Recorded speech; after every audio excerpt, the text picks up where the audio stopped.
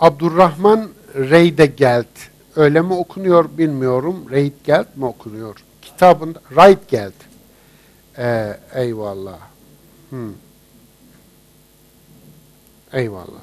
İngiliz mi bu? Alman. Hmm. Eyvallah. Reydgeld. Eyvallah.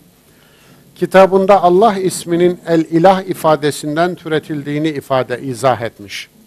Bu durumda Rabbimiz bizim onu isimlendirdiğimiz şekilde mi kendisini bize takdim ediyor? Oysa siz bizim Allah'a isim koyma yetkimizin olmadığını söylemiştiniz. Biz Kur'an kültürümüzü, kültür kelimesi seküler bir şey çok hoşuma gitmiyor ama burada mecburen kullandım. Kur'an din kültürümüzü Kur'an şekillendirir bizim.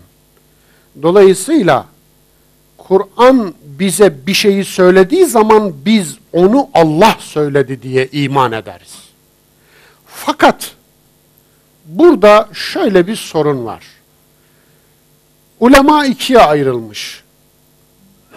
Allah ismi türetilmiş bir isim mi yoksa türetilmemiş bir isim mi? Türetilmemiş diyenler kelamcılar. Türetilmiş diyenler dilciler. Bir kere Allah ismi de Arapça her kelime gibi türetilmiştir. Diğer isimler de öyledir.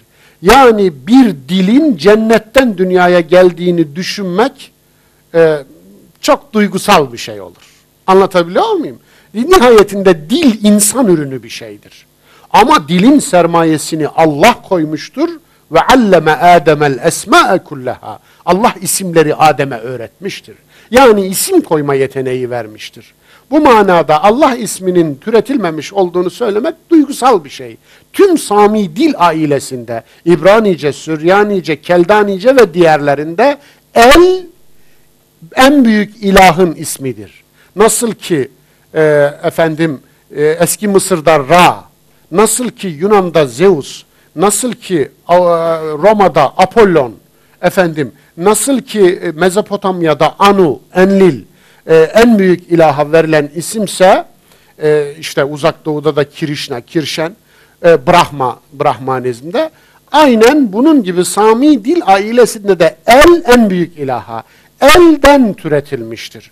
Fakat Allah ismi Kur'an'da mutlak ve has isimdir. Bizim kültürümüz dediğim gibi din kültürümüz Kur'an ile başlar.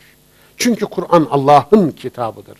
Bu anlamda dilin insan ürünü olması bir hakikat, Kur'an'ın Allah'ın kelamı olması da bir başka hakikattir. Onun için bu manada biz yine Kur'an'ın bize naklettiği üzerinden Allah'ı tanırsak, Allah'ın esmasını tanırsak, biz onu dilin ürettiği isim olarak değil, Allah'ın bize naklettiği isim olarak alırız. Fark bu. Bu zat bilmiyorum. Ha, Abdurrahman ismi de Müslümandır efendim, e, mühtedidir. Allah imanını mübarek etsin efendim. E, ama her halükarda e, mesela bir oryantalistle bir müminin bakış açısı farklıdır bu konuda. Oryantalist kelimeye kelime olarak bakar. Kelime onun için bir vocabulary e, şeyidir. Anlatabiliyor muyum? Bir efendim e, dil bilim e, unsurudur. Ama bizim için kelime eğer Kur'an'da geçiyorsa Allah'ın kelamıdır. Biz ona öyle bakarız.